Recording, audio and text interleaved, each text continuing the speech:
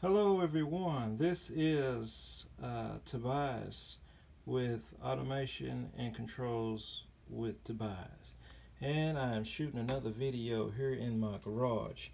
This particular video is, uh, it contains a VFD, a variable speed drive. Now this, or variable speed drives are used to control motors um, by different frequencies.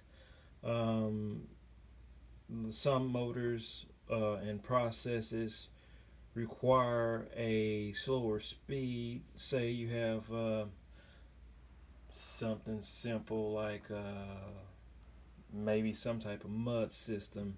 It's probably going to uh, require you to run your drive at a or your motor at a a very slower speeds for the process and whenever you are running this um, motor at this certain speed to slow it down from the 60 hertz that it's already putting out if you were in America uh, on American standard 60 hertz um, you would use a VFD um, sometimes you may see a VFD that I've seen it dragging at about like 5 hertz. I mean extremely slow 5 to 10 hertz. So um, this is how you would do that because if not um, the motor in, in a perfect world would um, run at its capacity. So instead of running a motor um, and maxing it out at its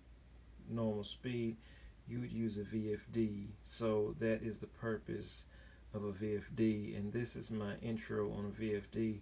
Uh, I planned on doing some programming with this VFD and um, showing you how it operates in uh, the local controls. Um, local meaning the hand and then showing you some other different ways. Um, of operating this VFD. Um, but that is my introduction to VFDs, and thank you.